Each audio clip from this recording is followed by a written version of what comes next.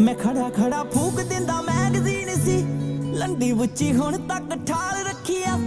ਤੇਰੇ ਪਿੱਛੇ ਵੇਖ ਵੇਲੀਆਂ ਦੇ ਪੁੱਤ ਨੇ ਬਿੱਲੋ ਗਨ ਛੱਡ ਕੇ ਗਿਟਾਰ ਚੱਕੀਆ। ਸੰਦ ਤਾਂ ਬਥੇਰੇ ਰੱਖੇ ਕਾਰ ਵਿੱਚ ਮੈਂ। ਤੇਰੀ ਸੋਨਾ ਕਾਰ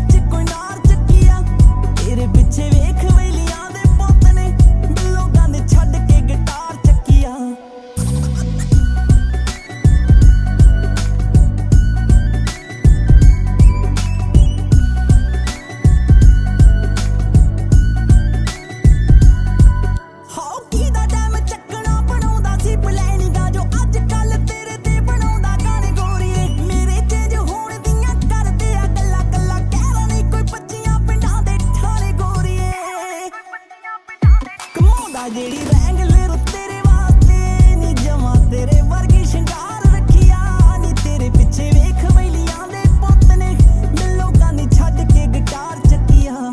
ਸੰਦ ਤਾਂ ਬਥੇਰੇ